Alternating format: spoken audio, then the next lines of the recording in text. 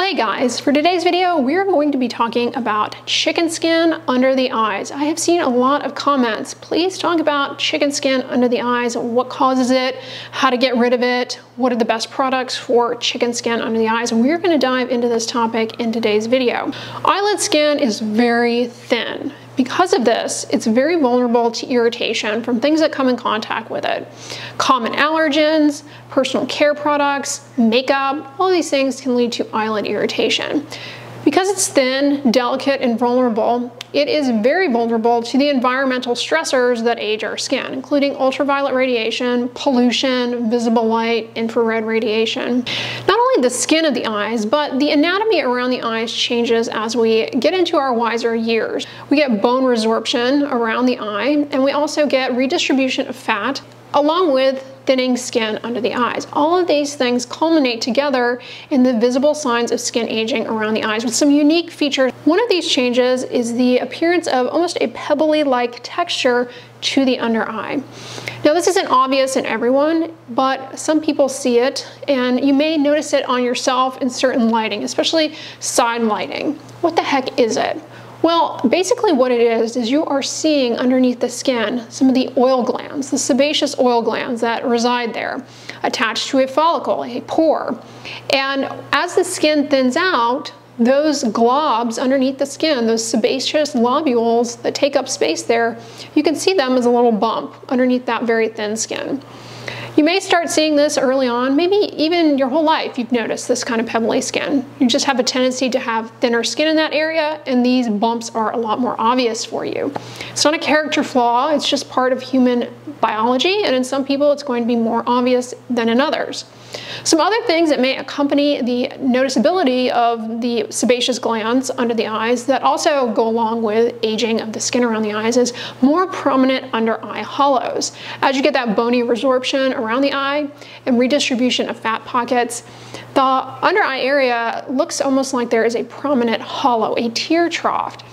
And for a lot of people, that can make the under eye area appear as though there are dark circles. So you have thin skin, dark circles, sunken eyes. There are a lot of bumps that can occur around the eyes. Uh, prominent sebaceous glands is not the only one. Speaking of sebaceous glands, you can have an enlargement of sebaceous glands known as sebaceous hyperplasia. That can occur around the eyes. It's a lot different than just obvious sebaceous glands in that it's actually the oil glands themselves kind of getting abnormally large. And this can happen anywhere on the face. These appear as firm yellowish to white bumps that have a little central depression in them. They're not harmful, and there are a variety of interventions that can be pursued at your dermatologist office to remove them. Check out my video all on sebaceous hyperplasia. We go into detail all the tips and tricks for dealing with sebaceous hyperplasia on the face. The under eye area is not an uncommon location to develop something called syringomas, these flattish bumps that are actually little non-cancerous tumors of the sweat gland. They are not dangerous and again there are procedures and interventions that your dermatologist can do to remove them if they bother you cosmetically. Check out my video all about syringomas if that's something you're dealing with. Not only can you get them around your eye but you can get them elsewhere on the body including on the chest. They are known to erupt in large numbers for some people. Those are tumors of the sweat gland. Whereas sebaceous hyperplasia and prominent sebaceous glands aka the chicken skin you all are worried about about, um, that's actually related to the sebaceous oil gland, not the sweat gland. You can also develop little annoying hard white cysts around the eyelid skin called milia. I know a lot of y'all deal with this. Milia cysts, probably more common around the eyelid area because the skin there is so thin and more vulnerable to irritation. Now milia cysts, they're firm, they're white, they're hard.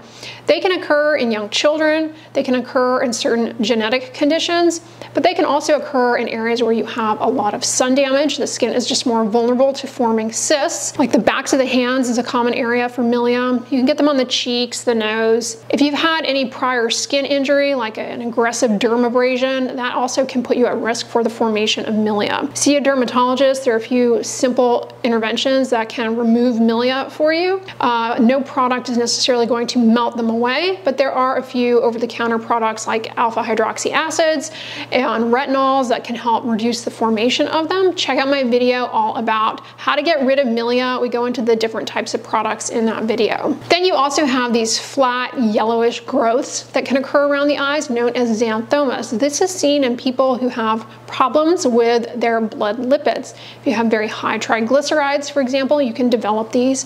Treating the underlying blood lipid abnormality can correct the xanthomas. There are also a few easy interventions that the dermatologist can perform to remove them as well. Then you have a condition called dermatosis papulosa nigra. Then you have a condition, dermatosis papulosa nigra, DPNs. These are seen in people with deeper skin tones. They're actually a variant of skin tags. They can have it on the cheeks and around the eyes. Again, these are not dangerous. They're pretty common skin condition, and there are, again, a variety of interventions that a dermatologist can do to remove them. Check out my video all about these bumps if it's something that you're dealing with. Now that you know all about why it is that you start to see chicken skin or more obvious sebaceous glands under the eye, as well as a variety of different bumps that can occur in this location, what can be done to improve the appearance of chicken skin or get rid of it or prevent it? Probably one of the most proactive things that you can do starting today, if you're not doing it already, is to protect that skin from the sun.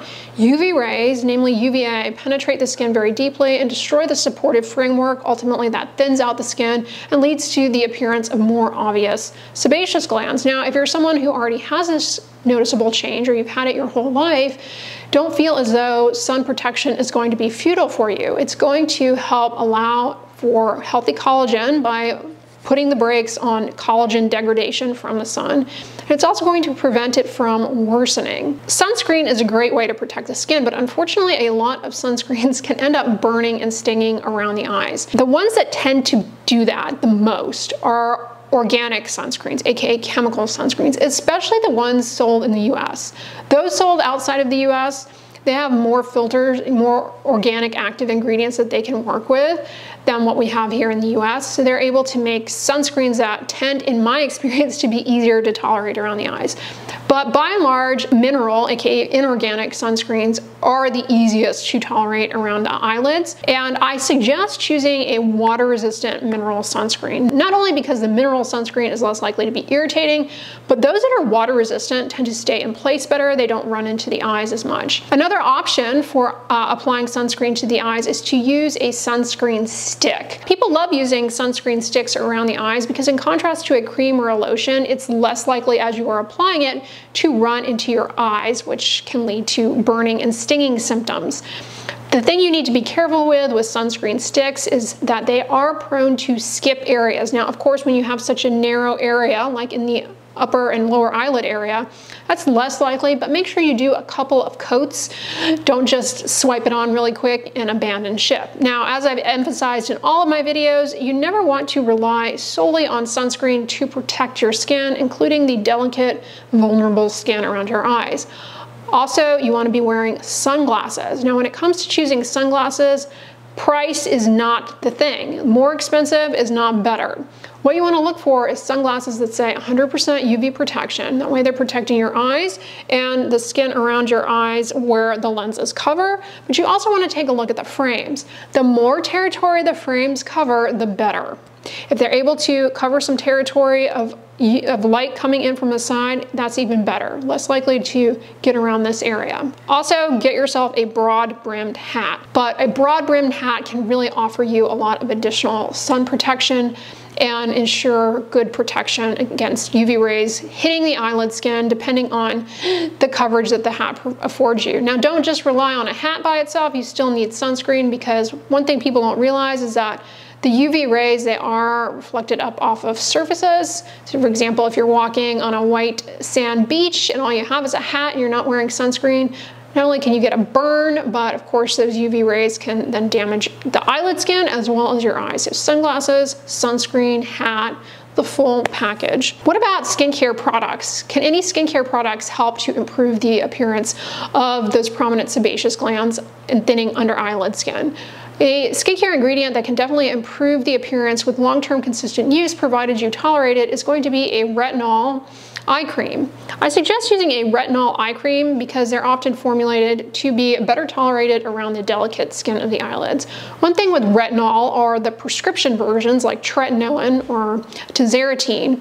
Uh, while they can be used to the eyelid skin, they are often too irritating in that area. So in general, I you know suggest people try a retinol eye cream to minimize irritation. Because the skin is thin, it has a better chance of receiving the retinol, so the formulation can be tweaked a bit to make it easier to tolerate, and you can still derive the benefits of, say, a retinol. Retinol is going to work in the eyelid skin area by uh, being converted to the active form in your skin. And once it does that, it can improve collagen production and it also can help, along with the aid of sun protection, to minimize the destruction of collagen due to UV rays. And it does this by putting the brakes on activation of enzymes that chew up your collagen, which are activated when you go out in the sun. So UV rays activate something called matrix metalloproteinase enzymes that chew up collagen and degrade the extracellular matrix. Ultimately, that thins out out the deeper layer of the skin and makes those sebaceous glands more obvious. So by using a retinol eye cream, that can really help improve collagen health, if you will, in that area and ultimately improve the look of the under eye area. You also have retinaldehyde eye creams, eye serums, whatever you want to call them. Retinaldehyde um, maybe a little bit more efficient in getting to the active form depending on the product formulation overall. And it, like retinol, will achieve the same outcomes of improving collagen health and ultimately that's going to improve the look of the under eye area.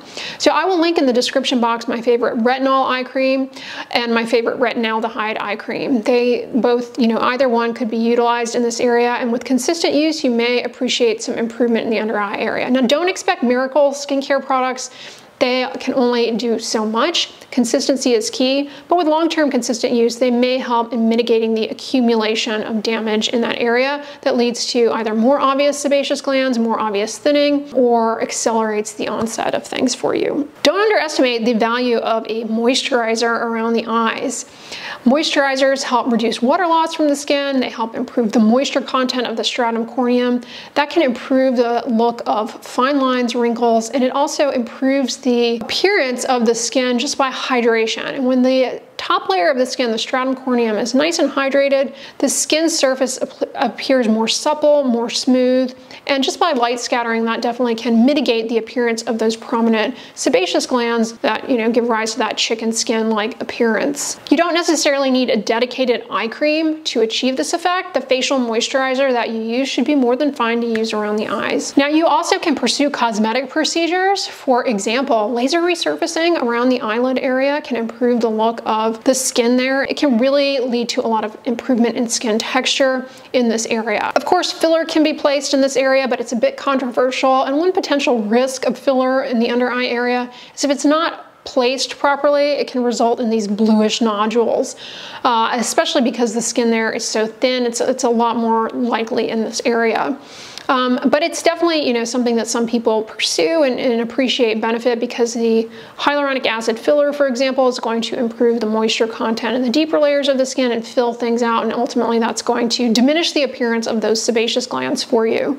But that's not going to be the right choice for everyone and there are potential complications. See my video on filler gone wrong. We go over the complications that you can run into with cosmetic filler. Chemical peels can also be performed under the eyelid skin. We always think of chemical peels as something very harsh, but in reality, a series of very gentle peels under the eyes with hydroxy acids can improve skin texture, smoothness, and also can help in improving collagen production in the deeper layers of the skin. Ultimately, that's going to smooth things out. Uh, but it definitely can improve the appearance of under eye skin. Check out my video all about Chemical peels, uh, I happen to think they are underrated and this is a location where they might be uh, appropriate for you and your concern re regarding chicken skin appearance uh, under the eye. In my video on chemical peels, we go into the different types, how they all differ, what to expect with them. So don't miss that video if that's something that you are interested in.